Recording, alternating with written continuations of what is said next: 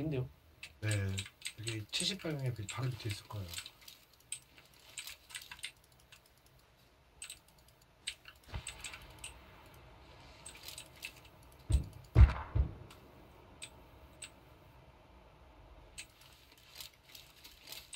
돌아야겠네.